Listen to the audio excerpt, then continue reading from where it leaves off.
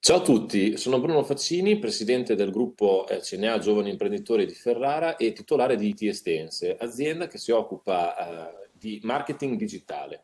Oggi oh, abbiamo il piacere di essere qui in compagnia con eh, Simone Palazzi Rossi. Eh, Simone è un ingegnere gestionale, un libero professionista che è specializzato nella consulenza direzionale e ehm, ha una particolare eh, esperienza proprio anche sull'aspetto del project management e dell'industria 4.0. Sta per cominciare una nuova puntata del nostro format eh, che si chiama Come mantenere l'impresa in 10 passi e ehm, vi ricordo che esce ogni martedì alle 18.30 su questa pagina e ehm, in breve per chi non, ancora non lo conosce eh, vi spiego di che cosa si tratta tutti si concentrano eh, sulla fase dell'apertura dell'azienda, no? quella che c'è prima di aprire l'azienda, che sicuramente è un aspetto cruciale. Però una volta che l'azienda è partita, quali sono gli errori da non fare?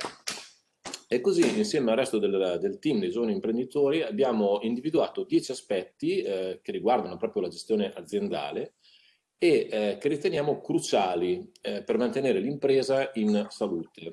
Abbiamo confezionato un, uh, un, un ebook, quindi un piccolo manualetto, un PDF, che si può scaricare gratuitamente seguendo il link che si può trovare nella descrizione del post qui vicino. E eh, appunto ogni martedì c'è un appuntamento eh, video con cui eh, parliamo, durante il quale parliamo con un ospite, un esperto diciamo di uno di questi temi.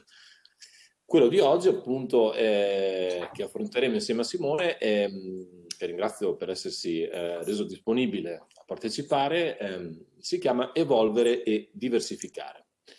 Simone, allora, credi che eh, il termine evoluzione abbia senso per un'impresa appena nata?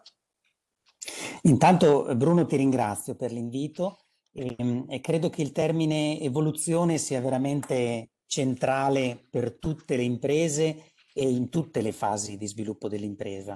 Io ti porto il parallelo dell'essere umano, è una metafora se vuoi diciamo anche molto semplice, però eh, la domanda provocatoria potrebbe essere, ha senso il termine evoluzione per un giovane piuttosto che per un neonato? Allora il neonato sarebbe, se vogliamo, la startup, il giovane è l'impresa con pochi anni di vita, ma il termine evoluzione ha senso anche per la grande corporation consolidata o, la, o l'azienda consolidata da, molti anni. Eh, diciamo che la dinamicità del contesto in cui viviamo, e eh, in realtà abbiamo degli esempi veramente di grande attualità, no? tutto il modo anche di lavorare che si è, si è modificato così velocemente, nel giro di pochi mesi, possiamo dire, fa sì che il termine evoluzione sia di grandissima attualità. E adesso faccio una citazione che è un po' abusata, però eh, mi piace Vai. farla anche spesso nei miei corsi. Ed è la, la, citazione di Darwin, Charles Darwin, l'evoluzionista, appunto, che dice fondamentalmente che non è la specie più forte eh, a prevalere, diciamo, e a sopravvivere nel tempo, ma è quella con la maggiore capacità di adattamento. E, e infatti, diciamo, i dinosauri in qualche modo si sono estinti per quanto fossero, fossero potenti e sembrassero dominare il, eh, il mondo. E, ehm, e, io spesso uso anche come, come, metafora, diciamo, dal punto di vista del, mh, mm, dire, della geometria, eh, la figura della spirale. La spirale è diciamo, una figura di tipo circolare, ripetitivo, eh, che però diciamo, si eleva eh, ad ogni ripetizione verso l'alto. Cosa vuol dire? Vuol dire che noi dovremmo pensare appunto all'impresa come se nel, suo, nel ripetere diciamo, l'operatività no, quotidiana però dovesse sempre produrre una, una, piccola crescita, un piccolo apprendimento, una, un piccolo miglioramento che la, le consente di rimanere competitiva sul mercato, perché in realtà la, la questione, che è poi alla, alla base proprio della sopravvivenza e della competitività delle imprese, è che senza evoluzione eh, non è che dire, non si acquisiscono maggiori quote di mercato, ma proprio si rischia di finire fuori dal mercato. Molto interessante anche la figura che, che ci hai delineato della spirale, molto molto interessante. Ehm, tra l'altro sì, mi trovi assolutamente d'accordo anche su, sulla filosofia che hai descritto. E a questo proposito, cioè il concetto di evoluzione no, che hai descritto, quindi che diventa fondamentale per sopravvivere, cioè come dicevi, più che per eh, anche restare competitivi, ehm, ti chiedo, cioè, c'è qualche cosa su cui conviene concentrarsi? Eh, in particolare pensiamo a chi ha aperto un'impresa da poco, no? quindi magari focalizzatissimo sulla propria operatività e magari avrebbe eh, piacere di sapere se c'è qualcosa di specifico, non so, prodotti, processi, cioè un consiglio secondo te su cosa conviene focalizzare l'attenzione? Eh, eh, Bruno, la domanda è veramente ben posta perché in realtà da questo punto di vista io credo che le aziende debbano concentrarsi su tante cose contemporaneamente.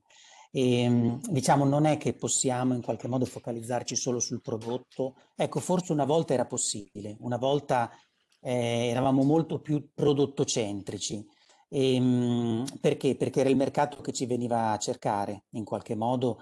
Eh, c'era diciamo una, una, domanda come dire molto più rigogliosa molto più. E, ehm, quindi sì diciamo il prodotto è comunque un must. Il processo beh, il processo è sicuramente un, un elemento su cui dobbiamo per forza concentrarci per rendere più efficienti nostri, le nostre modalità di lavoro e quindi anche meno costosi e più competitivi a livello di prezzi, a livello proprio di, di acquisizione di mercato. Quindi prodotto processo senz'altro, ma io ti dirò rilancio ulteriormente, e dico cliente, perché in realtà... Ecco, bello spunto questo. Oserei dire che ormai, diciamo, ancor più del prodotto, ancor più del processo, eh, è tassativo avere diciamo, una fortissima sensibilità su ciò che avviene eh, a livello di mercato e quindi sui bisogni dei clienti, da cui poi discendono ovviamente miglioramenti di prodotto e processo. Tra l'altro, guarda, sull'aspetto del cliente credo che appunto lavorando nella parte di, eh, come ti spiegavo, di marketing digitale, cioè l'aspetto dell'attenzione che viene anche data al cliente, no? credo che oggi forse più di altri periodi storici dove alla fine magari c'era forse una maggior differenziazione anche dei prodotti, no? come dicevi anche tu. Eh, oggi effettivamente eh, il valore aggiunto potrebbe proprio essere anche la, l'attenzione in più che qualcuno magari può dare al cliente, cioè trattiamo, trattiamoli bene questi clienti che poi si ricordano sostanzialmente. No? E vedo che questo aspetto è sempre centrale. Ti chiedo quindi, eh, invece noi abbiamo detto il tema si chiama evolvere e diversificare, quindi dell'evoluzione abbiamo parlato, direi, dando degli spunti anche molto belli. Eh, per quanto riguarda invece la diversificazione, cioè un'azienda appena aperto e già deve pensare a diversificare, eh, ha senso, c'è un motivo? Ha senso, ha senso, ha molto senso. Adesso io non, non vorrei fare, diciamo, troppo complicata, nel senso che prima ho detto che bisogna concentrarsi su tante cose e allo stesso tempo ti dico e ti confermo che anche la diversificazione è un elemento che de- bisogna coltivare in azienda, anche in un'azienda giovane, eh, che spesso diciamo non ha tante risorse e quindi eh, già la, la, fase, l'operation, quindi diciamo l'operatività già assorbe, assorbe molto della nostra energia. Però anche la diversificazione è molto importante. Perché questo? Perché ehm, in realtà, diciamo, il mondo eh, sta cambiando con una velocità talmente, come dire, frenetica, per cui eh, quello che oggi è il nostro cliente, domani potrebbe non esserlo più. E quindi noi è come se in, come dire, in una corsa continua dovessimo guardare accanto a quello che, che è il nostro cliente attuale per guardare quello che non è il nostro cliente attuale e potrebbe essere il cliente del futuro. Quindi fondamentalmente fare molta attenzione all'applicazione del nostro prodotto, del nostro servizio ad ambiti che sono attigui, che sono attigui o anche, ovviamente in un'ottica proprio di, di innovazione del modello di business, ehm, diciamo, i, identificare servizi nuovi che possono comunque servire quei segmenti di clientela che già stiamo servendo. Quindi fondamentalmente chi si ferma è perduto. ecco, la diversificazione è un elemento fondamentale. È fondamentale, no? sono d'accordissimo con questo concetto. Ti chiedo, mai degli esempi anche da dare, cioè ti viene in mente qualche cosa anche di, proprio di concreto, anche per chi eh, ci segue, per, così per capire a volte in maniera più pragmatica, più semplice, alcune cose, sì. so. Sì, cioè devo dire che di esempi ne ho, ne ho molti e diciamo alcuni possono sembrare lontani, altri invece sono molto vicini magari alla realtà della, della piccola media impresa. E, um, alcuni che sono di grande attualità eh, te li propongo subito. Allora, tutto ovviamente eh, siamo immersi in questo momento nella, nella, nella gravissima problematica della pandemia, eccetera. Però hai visto Bruno quanto eh, alcune aziende anche di piccola e media dimensioni si sono adattate velocemente al, al tema della riconversione produttiva verso per esempio quello che era inizialmente la, il grande fabbisogno di, di mascherine. Le mascherine, certo. Mascherine.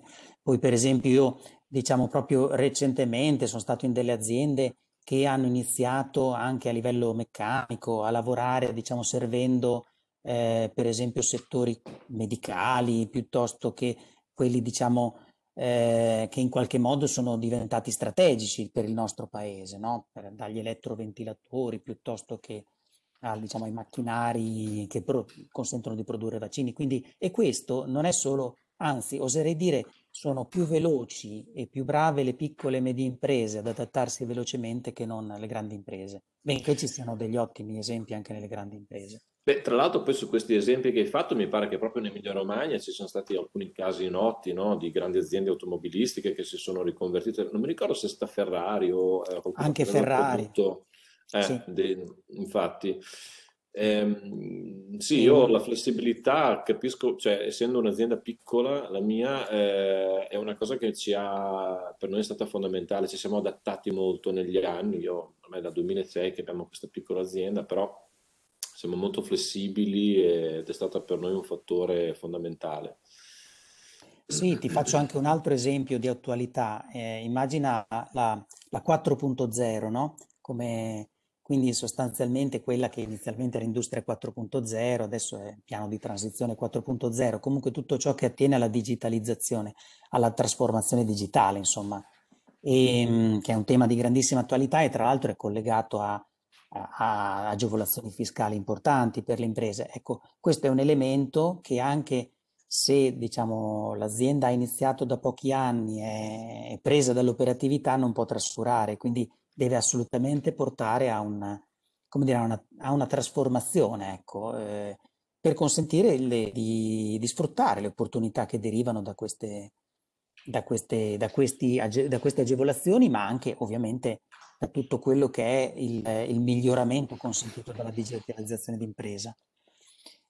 Certo. Arrivare poi ad aziende diciamo, che innovano continuamente eh, i propri processi, eh, introducendo diciamo, nuove lavorazioni. Questo veramente, oserei dire, la domanda forse ancora più, rende ancora più evidente quanto diciamo, gli esempi sono diffusi è chiedete a qualsiasi imprenditore o qualsiasi impresa che abbia qualche anno di storia alle spalle, chiedetegli se sta facendo esattamente quello che faceva all'inizio, quando diciamo, ha fondato l'impresa, quando è iniziata l'attività. Sì, eh, hai assolutamente ragione. Anzi, mi ricordo quando avevamo cominciato che facevamo siti internet e o eri un programmatore, adesso anch'io ho fatto ingegneria e insieme a altri ragazzi, o eri programmatore e facevi siti o non li facevi. Cioè, oggi questo è, cioè, è cambiato tutto in maniera assolutamente totale proprio, quindi abbiamo dovuto evolvere anche noi. Sono d'accordissimo. E quindi è interessante questo anche a spunto che hai dato di provare a chiedere, potrebbe essere anche un bel consiglio comunque di andare a sentire da imprenditori, persone che hanno un'impresa e provare a chiedere, a volte magari anche facendo domande a chi ha già un'impresa, ci può dare idee, ci può eh, regalare qualche cosa che ci può tornare utile a livello di eh, imprenditoria, se vogliamo, mm, di questo stiamo parlando fondamentalmente. E quindi prima di salutare i nostri amici, c'è un qualche altro, mi piace questa cosa che hai dato lo spunto, c'è un altro esercizio, qualche cosa che in base alla tua insomma, lunga esperienza no, che hai con le aziende, che così per far toccare con mano eh, qualcosa di concreto eh, che possiamo dare ai nostri amici da casa? Sì, allora eh, il mio il consiglio che tendo a dare un pochino a tutte le imprese, indipendentemente anche proprio dal loro grado di e, e, dal loro, diciamo, e dal, dire, dal, loro, ciclo di vita, la fase del ciclo di vita che stanno, stanno vivendo, mm. intanto è quella della misurazione. Quindi se dovessi in qualche modo, sempre che, diciamo, che io possa svolgere questa funzione da, dire, da professore, di assegnare compiti a casa, però in un ipotetico compito a casa assegnerei il compito di misurare, perché sappiamo bene che è difficile migliorare ciò che non, che non riusciamo a misurare. Quindi eh, iniziare a misurare che possono essere, non so, le tempistiche a consuntivo di determinate lavorazioni, piuttosto che tutto il tema del controllo di gestione, quindi dei margini che riusciamo a ottenere per tipologia magari di lavoro, per cliente e quant'altro. Eh, attraverso la misurazione, quindi scegliete, scegliete un focus, quindi non, eh, non, bisogna essere dispersivi, scegliete un focus ben preciso. Basta uno, vero? E provare. Uno, uno. È molto, è un po' nella logica della spirale che dicevamo prima, è molto più efficace fare un piccolo passo, ma essere sistematici in questo, quindi aggiungere un Metodici. passo mm. assolutamente, che non invece uno, uno, sforzo, diciamo, enorme una tanto. Quindi il tema della, della misurazione è senz'altro un primo compito interessante. E l'altro che, che mi sento, diciamo, di, di consigliare è e, ok, siamo tutti focalizzati sui nostri clienti, quindi cerchiamo di servirli al meglio, di soddisfarli. Provate però a guardare accanto ai vostri clienti se c'è un non cliente, quindi quello che attualmente non è un cliente, un non cliente che però potremmo raggiungere, che potrebbe aver bisogno di noi, magari con ovviamente una piccola modifica nel nostro servizio, nel nostro prodotto, e perché eh, il non cliente potrebbe essere il cliente di domani, potrebbe essere il cliente quei classici clienti che fanno il 70% del fatturato, per intenderci. Quindi consigli, due consigli, due compiti per casa, devo dire veramente molto, molto stimolanti. Vi consigliamo di, di provare, proverò io stesso assolutamente appena chiusa questa piccola chiacchierata. Va bene, allora eh, intanto ti ringrazio ancora Simone, è stato veramente un piacere fare due chiacchiere con te e credo sia veramente stata una conversazione piena di contenuti e molto utile per chi ci ha potuto seguire eh, in questo filmato.